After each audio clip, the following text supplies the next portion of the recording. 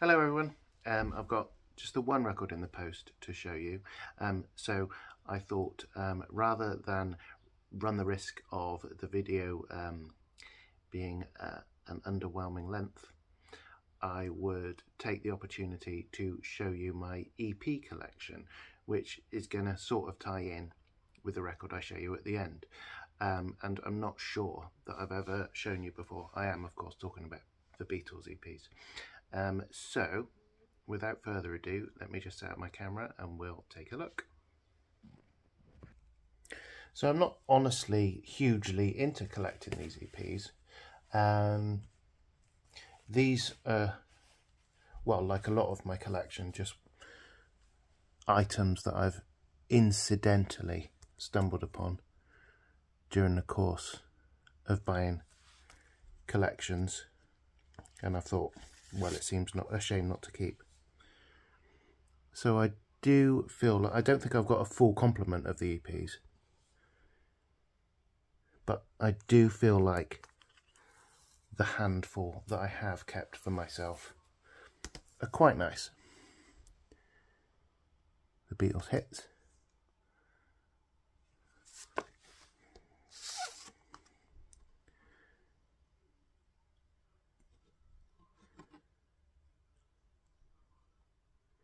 Yeah, they're all in good condition. I'm not completely certain whether they're all first pressings or not.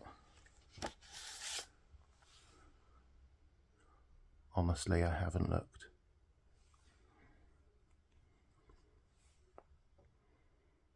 It's the long Sally one. As you can see, they're all in nice nick.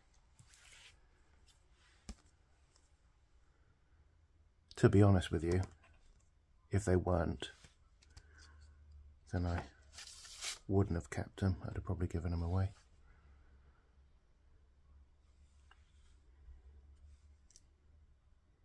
That's the All My Loving EP. And lastly, for my collection at least, Twist and Shout EP. My sleeve.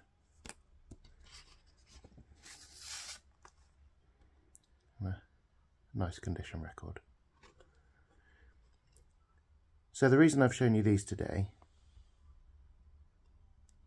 so I, th uh, I don't think any of those EPs that I've shown you really worth much more than 18 or 20 quid.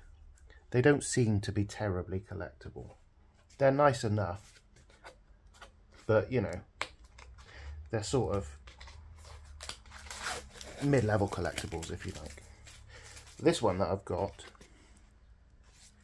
is something of a Beatles Holy Grail, I think.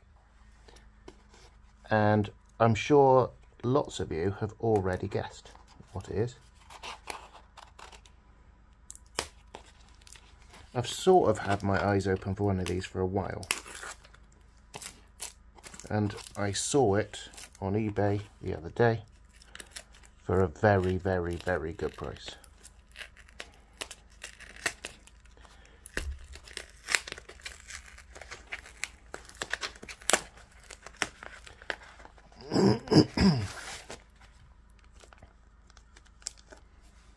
Little note.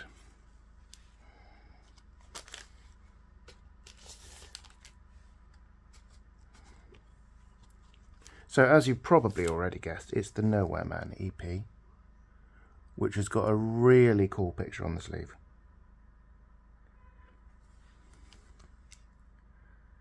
Nowhere Man, Drive My Car, Michelle, and You Won't See Me. So no UK singles on it.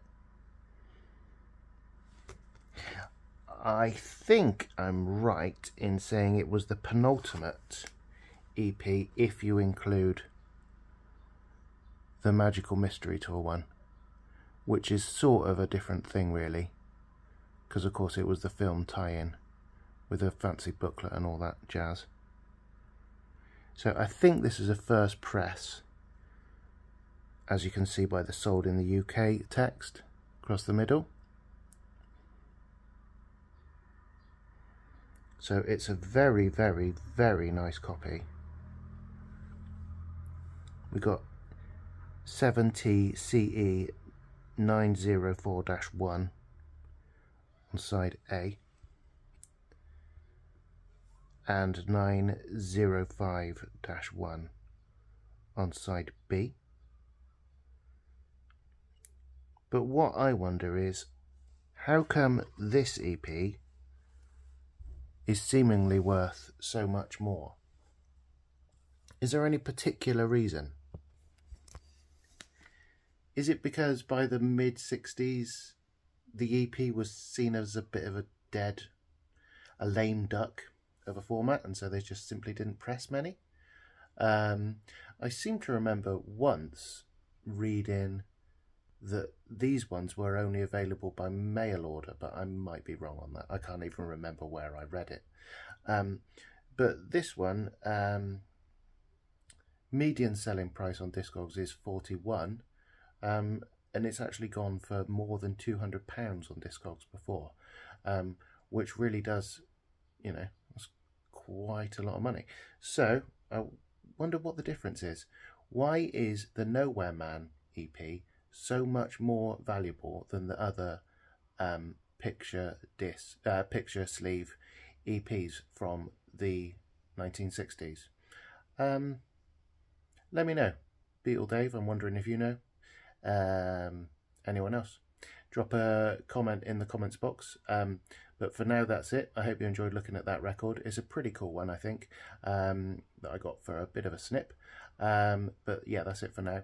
Um, I've just won uh, auction on eBay, which is hopefully a pretty exciting one. So, all being well, I'll be back with you before the weekend or maybe at the weekend itself. Um, but yeah, okay. See you again soon. Cheers, everyone.